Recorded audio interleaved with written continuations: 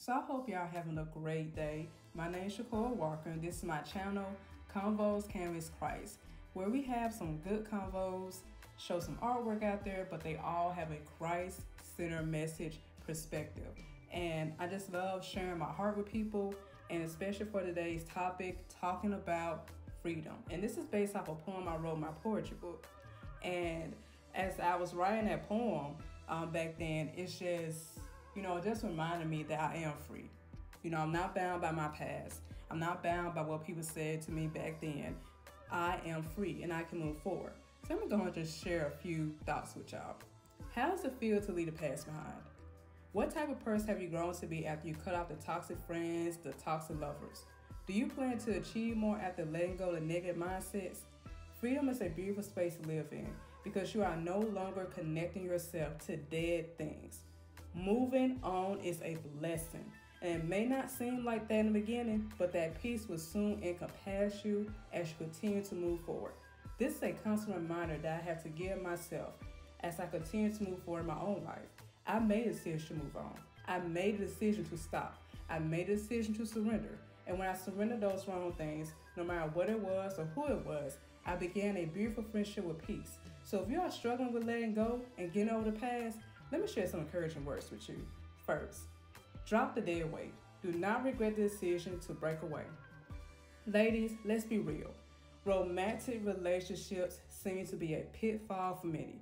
We refuse to acknowledge the red flags and oftentimes stay in the wrong relationship too long until a baby comes forth, abuse becomes life threatening, or we literally lose everything connected to us.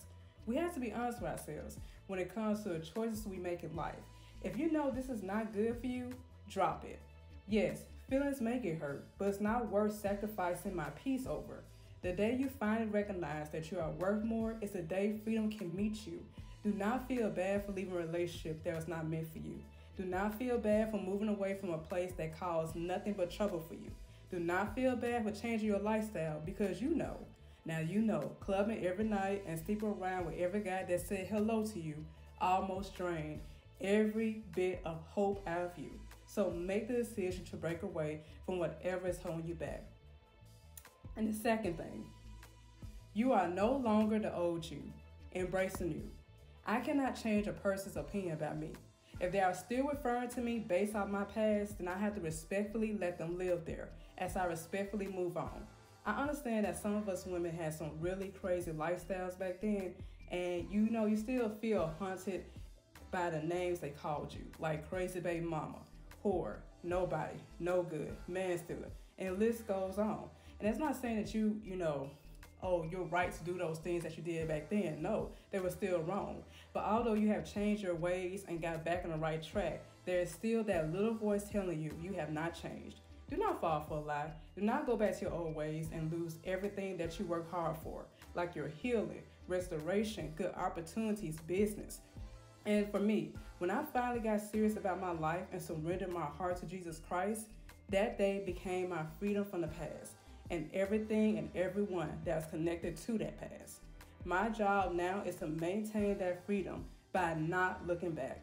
When the past starts calling, remind that thing that you changed your name and your new name is free. So I hope that helps somebody out there that freedom is a real thing. You can gain freedom, you can live in it, but make sure you maintain it by letting go of the what? The past. Y'all have a great day.